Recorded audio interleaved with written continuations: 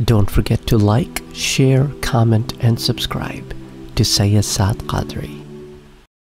السلام علیکم ورحمۃ اللہ وبرکاتہ ایک بھائی نے بڑا اچھا سوال پوچھا کہ کیا یہود و نصارہ جنت میں جائیں گے کیونکہ یہود و نصارہ اچھے کام کرتے ہیں وہ اللہ پر ایمان بھی لاتے ہیں وہ اہل کتاب میں سے بھی ہیں تو باقی مشرق ہیں جو ہندو ہو گئے یا دوسرے اور مذاہب کے لوگ ہو گئے ان کے بات میں تو، ان کے بارے میں تو بات واضح ہے۔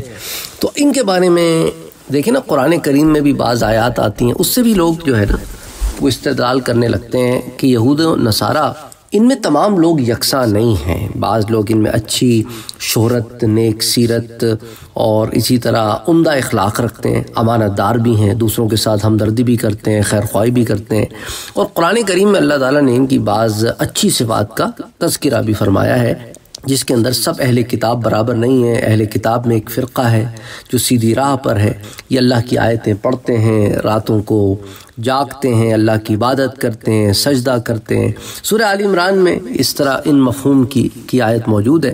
اور اچھا اور بعض اہل کتاب وہ میں وہ بھی ہیں کہ اگر تو ان کے پاس امانت کا ڈھیر بھی لگا دیا جائے تو اس میں خیانت نہیں کریں گے۔ تو اسی طرح جو ہے قرآن کریم میں اللہ تعالیٰ نے یہ بھی فرمایا کہ سب لوگوں سے زیادہ مسلمانوں کے دشمن یہود ہیں اور مشرق بھی، اور مسلمانوں سے نزدیک عیسائیوں کو پاؤ گے جو نصارہ ہیں۔ یہ اس لیے کیونکہ نصارہ میں عالم بھی ہیں اور درویش بھی ہیں، اور اس لیے کہ وہ تکبر نہیں کرتے سورہ معاہدہ کی آیا مبارکہ کا میں نے آپ کو مفہوم بیان کیا ہے۔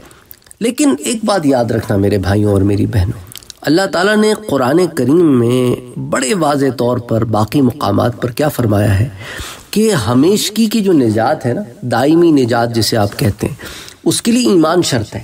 اور ایمان کیا ہے؟ وہ بڑا واضح ہے کہ لا الہ الا اللہ محمد الرسول اللہ۔ تو اب کیونکہ کفر اور شرک کا گناہ کبھی معاف نہیں ہوگا، اور ایمان کے صحیح ہونے کے لیے صرف اللہ کو ماننا یہ کافی نہیں ہے۔ بلکہ اس کے بھیجے ہوئے تمام رسولوں کو ماننا بھی لازم ہے۔ تو جو لوگ حضور صلی اللہ علیہ وآلہ وسلم کو اللہ تعالیٰ کا آخری نبی نہیں مانتے، وہ اللہ تعالیٰ پر بھی ایمان نہیں رکھتے کیونکہ حضور اللہ تعالیٰ کے ہی بھیجے ہوئے آخری نبی اور رسول ہیں۔ اور اللہ نے آپ کے خاتم النبیین ہونے کی شہادت بھی دی ہے۔ اس لیے حضور کے دین کو قبول کرنا ہی شرط نجات ہے۔ بات سمجھ میں آ رہی ہے؟ تو غیر مسلم کی تو نجات ہو نہیں سکتی۔ تو لہٰذا غیر مسلم اہل کتاب صرف اچھے اچھے کارناموں کی وجہ سے جنت میں نہیں جا سکیں گے۔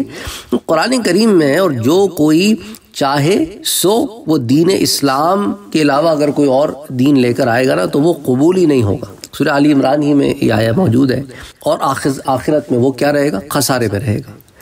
تو بے شک اللہ تعالیٰ ہی بخشنے والا ہے گناہوں کو، لیکن جو اس کے ساتھ شریک کرے، جو شرک کرے، تو شرک تو ایسا گناہ ہے نا اس کے بارے میں آتا ہے کہ اللہ تعالیٰ اس گناہ کو نہیں بخشے گا۔ تو اسی طرح جو ہے، جس نے اللہ کے ساتھ کسی کو شریک ٹھہرایا، تو اس نے تو ایک بڑا ہی بھیڑا کام کیا، غلط کام کیا، گھٹیا کام کیا اس نے۔ کہ اس رب ذوالجلال کے ساتھ کسی کو شریک ٹھہرا دیا۔ اچھا پھر اس کے علاوہ جو ہے، حدیث شریف میں بھی آتا ہے، صحیح مسلم کی ایک روایت ہے کہ حضرت ابو حریر رضی اللہ تعالیٰ عنہ اس کے راوی ہیں کہ حضور صلی اللہ علیہ وسلم نے فرمایا کہ اس ذات کی قسم جس کے قبضہ قدرت میں محمد مصطفیٰ کی جان ہے، صلی اللہ علیہ وآلہ وسلم، اس امت میں سے جو شخص بھی خواہ وہ یہودی ہو یا نصرانی، میری نبوت کی خبر پائے اور میری لائے ہوئی شریعت پر ایمان لائے بغیر مر جائے تو وہ دوزخی ہے۔ مشکات المصابی میں بھی یہ روایت آتی ہے۔ تو بہرحال ایمان شرط ہے۔ اچھے اچھے کام جو کریں گے اور ایمان نہیں لائیں گے، ان کو یہی بدلہ مل جائے گا۔ اور جو واقعتاً صحیح معنوں میں ایمان لائیں گے اور پھر عمل صالح کریں گے، کیونکہ دیکھیں نا، قرآن کریم میں آپ سورہ اثر بھی اٹھا کے دیکھ لیں صورت التین بھی اٹھا کے دیکھ لیں، اور دیگر مقامات بھی قرآن کریم میں دیکھ لیں، تو اللہ تعالیٰ نے یہ فرمایا ہے کہ وہ لوگ جو ایمان لائے اور پھر نیک عمل کیے، تو نیک عمل ایمان کے تابع ہے۔ اور ایمان میں یہ شرط داخل ہے کہ اللہ کے تمام انبیاء پر ایمان لانا ہے۔ یہود حضرت عیسیٰ کے انکاری ہو گئے تو یوں کافر ہو گئے۔ حضرت عیسائی جو ہیں وہ حضور صلی اللہ علیہ وسلم کے انکاری ہو گئے تو کافر ہو گئے۔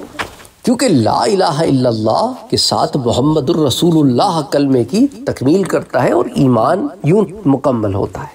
اس لیے اچھا اب یہ پوچھیں کہ وہ نصارہ جن تک کبھی یہ پیغام ہی نہیں پہنچا، تو انہوں نے تو انکار ہی نہیں کیا نا۔